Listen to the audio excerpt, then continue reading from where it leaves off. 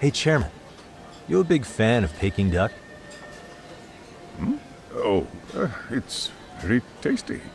Isn't it? It's one of my personal favorites. Nothing like biting into warm, crunchy duck skin.